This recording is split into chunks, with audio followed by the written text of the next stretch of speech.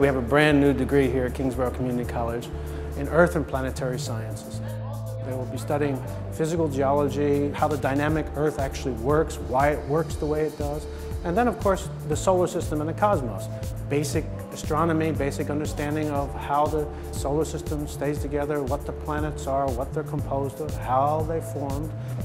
Students use cutting edge instruments in laboratory, including a brand new SEM or secondary scanning electron microscope right down the hallway here at Kingsborough. With a light microscope, you can magnify things up to about a thousand times. With the scanning electron microscope, you can go up to 300,000 times. It's an excellent tool for looking at minerals as well as composition. You can look at the structure of the minerals and you can look at the composition, what they're made of. If you're interested in aluminum in a meteorite and, and where it's located, you can create maps that show you where the aluminum is distributed over areas less than a millimeter across. Unique to this institution is you have several professors, myself, Professor Weisberg, who are cosmochemists, meteoriticists, which are about one of 300 people in the world who study meteorites. So you actually get uh, education in meteorite science, which is the only way we understand the very earliest processes that led up to forming planets. And it's actually a degree that is also uh, linked with Brooklyn College. So students can achieve their two-year degree here with us and then articulate right into Brooklyn College's geology program and pursue a degree in geology. One of the other emphasis we have in the EPS program is involving undergraduates in research. Uh, because that research experience, a focused research experience, is extremely important for students to learn how to solve problems.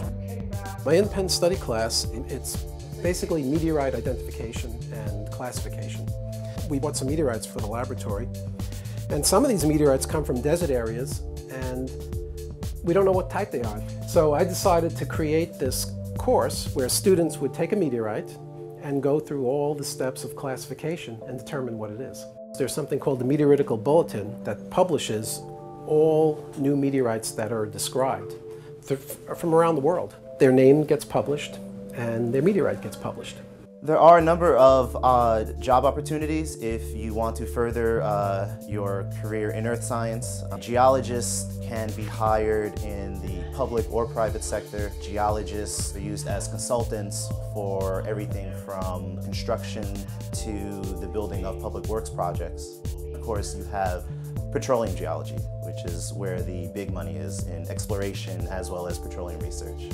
Questions that come from a lecture on Newtonian physics with me relating about the planetary science and the formation of the planets and to their everyday life, veer off from the science and go into their everyday life. And that's equally as important to me as it is to studying the origin of the planets.